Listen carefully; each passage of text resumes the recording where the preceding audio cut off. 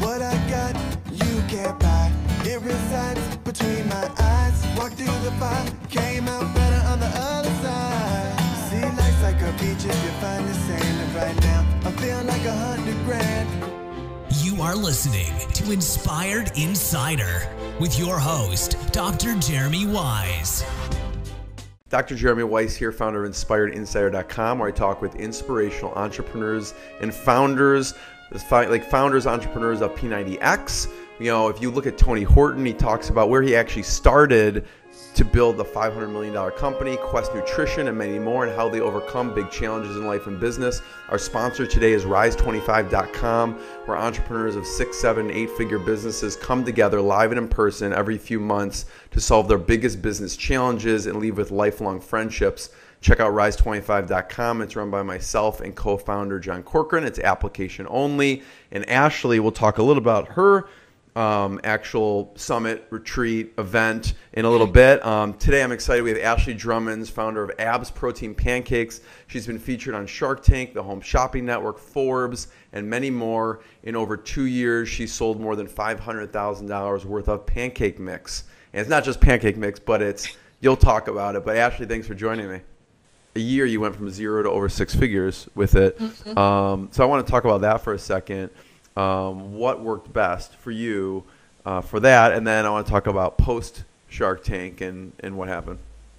Yeah, so one of the things that we always get asked is were you successful before Shark Tank or did Shark Tank make you successful? Yeah. And the biggest thing is, like you said, from before a year hit. So we went on Shark Tank right around our year marker. Before that, though, we had already hit six figures. Yeah. Shark Tank, I say, has a huge power and like a huge effect on your business. But I think more importantly, what it does is it just sets things into motion faster. Mm-hmm. So it basically amplifies what you're already doing in your business. Yeah. So from month one to getting and airing on Shark Tank, the biggest thing that worked for me is I didn't know anything about online marketing. I didn't know anything about email, social media marketing, but I'm really good at observing and following trends. And so when I first started the pancakes, I mean, before I had packaging, before I had a website or anything like that, I, I mean, Instagram, for example, Instagram, Facebook, all these social media platforms, seeing how many like likes would come through, how much engagement I was getting on my own personal stuff just by using like one hashtag. Like if I made a mm-hmm. post and didn't put any hashtag, and then the next post I put like hashtag fitness, and then it's like, oh, you have 150 likes now. Mm. I saw the free marketing that came from that because in the beginning, nobody really, unless I mean you have like a huge capital investment, nobody has the money to spend on thousands of dollars of advertising. Yeah, you're bootstrapping, yeah. Right, yeah, you're doing what you can. So I picked onto that very quickly and I started coming up with a campaign schedule for myself. And I mean, the whole like the followers don't know this, but I knew like psychologically, people get used to seeing content at certain times of the day. And if right. it's not there, you kind of lose those customers. So I was doing 6 a.m. and 6 p.m. every single day. Twice a day when people are up in the morning, eating breakfast, scrolling through That's social smart. media. Yeah, yeah. yeah, and at night, well, you ask yourself, like, when am I on my phone looking at social media? And then at night, you get home from work, you're either having dinner or you're watching the news or whatever, scrolling on social media. So 6 a.m., 6 p.m., and I mean, I was so obsessive about it. Like, we my boyfriend would always make fun of me because I would be laying in bed. I'm like, it's 6:15. I got to make my post, and he's like, oh my god. I'm like, I got to get it up there. But right. so I did that. That's great. Yeah, a self-imposed yeah. deadline because they're expecting it. Yeah. Right, exactly. And a lot of people do it with email marketing. It just depends on your demographic. Like with mine, with the fitness industry, I know social media is huge. Pictures, yeah. People. Yeah. Yes, they're going to respond to a social media post way more than they're going to respond to an email. Um, but so I did that 6 a.m., 6 p.m. every single day. And then one of the other huge things which helped a lot is I actually took the time to research trending hashtags specifically to my demographic. Mm. So what are the top 10 fitness hashtags, That's nutrition awesome. hashtags? Yeah. yeah. And then the pancake. I love to hear this stuff because people think, oh, it just landed, like you put it out there and you just started it just happened. selling. Right. I mean, the reality is there's a lot of uh, hustle and work yes. and grind that goes into it. There's, well, I think the biggest thing is like, even now, like there's other things that we're working on launching now, and it's like the work is simple. It's the discipline and the consistency to continue to do it every single day. It's like that with anything in life. Like mm-hmm. same thing with fitness. You don't just wake up with a six pack. It's the consistency of what you're doing. Right. So research the hashtags, and even now I have a note in my phone of the hashtags that I used from day one. That, that fortunately now I have a social media manager. But even to this day, like we use the exact same hashtags we used in the beginning, and it just continues to grow. So that was the second thing that I did that really grew Yeah. things. Third thing, like I said, I was never afraid to be told no, or I didn't care about what people thought. So I reached out to other brands who had similar um, markets or customers as I did. Yeah. Like one of our great friends and a good brand that we've aligned with is like Detour Bar and Kill Cliff and Natural Grips. Like all these people that are making a positive impact in the fitness industry. Yeah. Reach out to them and just like offered like, hey, do you want to do a cross promotion? Like like right now we do that even to this day. Yeah, I think of- I saw the, uh, Kill Cliff somewhere on your site. Yeah. Yeah, Killcliff is a great brand, and I mean it's a product that I use myself, and so many people in the fitness industry use. But like for example, they have a great replacement Yeah. coffee drink Yeah. that's natural. It's good for recovery, and we have pancakes, so we're like, hey, let's do coffee and pancakes. Yeah. This will be great. So I mean that Yeah. from the very beginning though, like I, I think I have a good introduction for you actually. So remind me afterwards. Yeah. All right. Yeah. Um, but like somebody, I was doing another podcast, and like one of the things is somebody asked of like, how do you? Aren't you scared to reach out to? But like, if I had a hundred followers and this brand has a hundred thousand, were you scared? And I mean, honestly, logical question. I mean, it's scared. yeah, I don't know if it's scared, but like, why?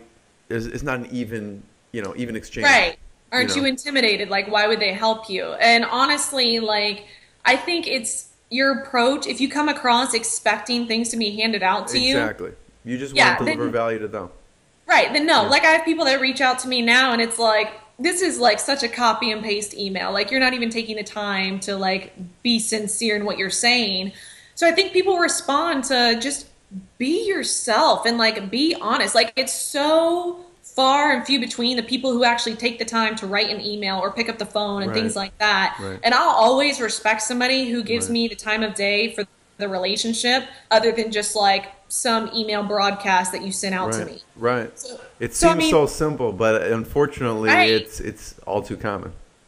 Well, and I think that's the thing too is like people forget that all of these brands started exactly where you're starting.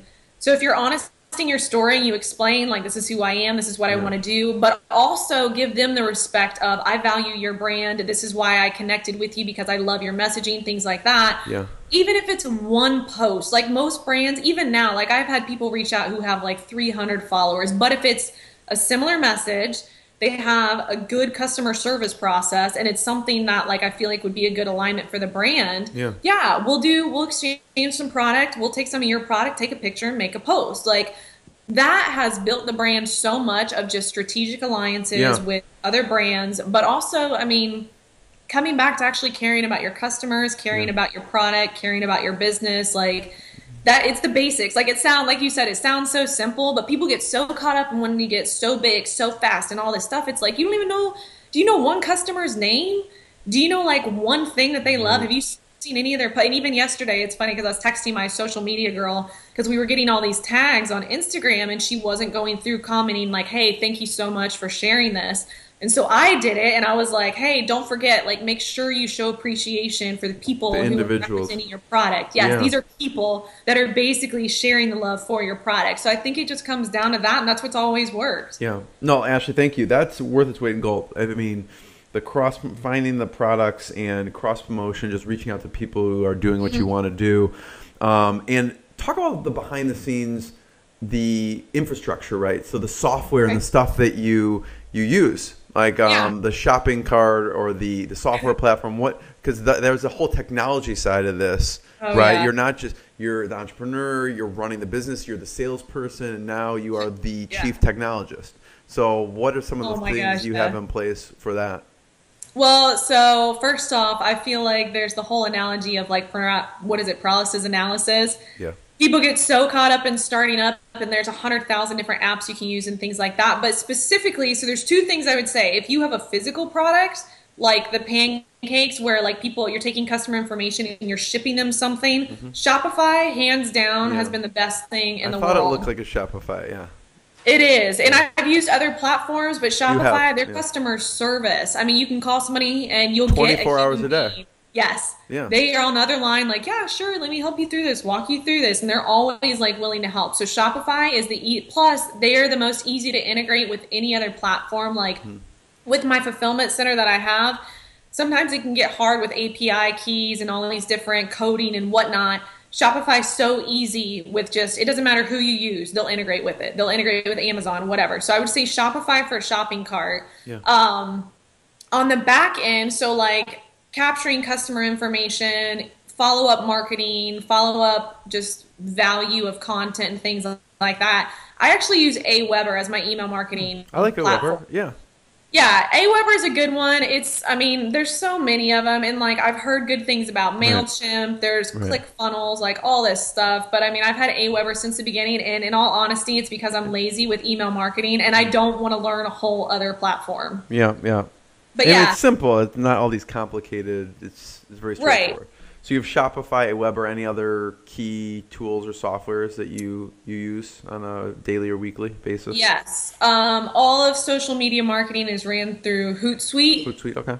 Yeah, to schedule it out, just because it gets that way you're not logging in and out of five different platforms. You can Yeah. schedule limitlessly for months and months on advance. So yeah, Hootsuite is great, and I think it's only like nine dollars a month. So even Yeah. if you're in startup, it's good. Yeah. There's a bunch. I mean, Buffer people use. Edgar people use. Meet Edgar Yeah. people use. Yeah. Um, I'm trying to think. So yeah, Hootsuite, Shopify, Aweber. Um, on that, that's on the pancake side. On the other side, so like I have the site ashleydrummonds.com, Yes. but that's got a lot of content. That's all WordPress. I don't have to use anything with that because WordPress has so many things already built into it that I think WordPress, if you're not doing physical products, you're doing digital products, that's the best way to go Yeah. Yeah. you can i mean you can just continue to add and add and add and add and it's so easy to use Yeah. So many questions, so little time, Ashley. I'm looking up. We have three okay. minutes. I'm like, we haven't talked about HSN. We haven't talked about Shark Tank that much. Um, it's okay So, I guess talk about post Shark Tank for a second. What ended up happening? So you had So- six months of, uh, inventory. right so within uh, like i told you before we can't say exact numbers Sure. but so within like a week of the, the airing because you have like four different time zones i think that it airs through and then you have like the trickle effect of like if it was on a friday people dvr watch it saturday right, sunday monday right, right. Um, so for that week, they always say like you can really figure out your launch the seven days from your air date. I think we did our entire previous year's revenue in that week. Well, So Congrats, I mean That's that's awesome. just because of the exposure. That has nothing to do with like Daymond, the stuff he's done since then. That's just from airing. Yeah. Um, we ended up getting a deal with Daymond John, Yeah. Fubu founder, and it's been great. Like honestly, there's a lot of different things. Some people have they because you don't know. You're not allowed to talk to other entrepreneurs about their investor. You're not allowed to talk about your experience. That's all the confidentiality agreements. But some people they talk about how their investor is very hands off. They just kind of Yeah. like are there if you need them. Daymond's team is very hands on. I mean. Every Yeah. week I'm getting emails. Every time an opportunity comes up that aligns with the abs brand, they send it over to us. Like That's great. And they, the very first thing that they aligned us with was HSN. That was a month or so after Hmm. the Shark Tank airing. So it was like airing on Shark Tank, HSN, like things just taking off like crazy. Yeah. it's been amazing. And I mean, even now, like we're doing a launch with Zulily next week because of them. So it's been awesome. What's um, some good advice you've gotten from Daymond? Um, hmm. You know, actually, it's nothing like huge and like anything new epiphany wise. I mean, the guy knows a ton, but I mean, honestly, like he sent us an email, I think it was last week, and it was just something so simple of like, hey, don't forget the process that you came through with Shark Tank by supporting other entrepreneurs. The whole thing was just like supporting Shark Tank, like sharing this platform that has given us such leverage and just Yeah. remembering to give back. And that, so his whole message was just about, hey, even though like I know we're all growing and we're getting exposure and we're busy in our businesses, let's remember where we came from and Yeah. continue to share that moving forward. It was the whole pay it forward analogy. So I mean, I think it's just refreshing to see somebody on like his success level who's got so much going on, but to still come back down to a humble beginning of like, hey, don't forget, Yeah. keep paying it forward to everybody else. Yeah. So last question, Ashley, since we're right at the the time. Uh, thank you so much. First of all, Yeah. um, I always ask since it's Inspired Insider, what's been the lowest point in the business and what's been the highest point for you? Well, highest point I would say has been Shark Tank. Yeah. Shark Tank, everything that's come from Shark Tank has been the highest point, and I think like it just continues to get better and better, and especially now like now because of the platform that Shark Tank has given, it now gives us these opportunities like talking to kids at schools and now Mm. like helping women with their businesses and whatnot. So I mean that all those are all high points. The lowest point for me, it wasn't necessarily I mean it wasn't necessarily in the business like something bad had happened was I had moved out to California by myself.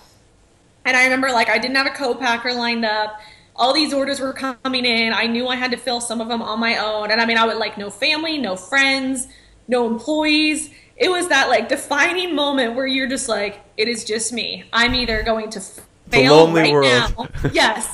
I'm going to fail right now and I'm going to sit here in a corner and just cry about how I'm terrible at life or I'm going to really step into who I truly am and my strength. And I think that was like I don't know. I think everybody has those moments multiple times in their life where like this is the point where you either step up and move forward or you're going to completely fall apart. And I remember like sitting there and I probably cried and had wine way too much that week to try and deal with all of it. Right. But I remember feeling like very just exhausted and I don't know if I can do this and is this really going to be everything that I think it is or am I just like making up something in my mind? And of course like that day I was like I just need to go work out. And I would go work out and then as soon as I was done I was like Yeah.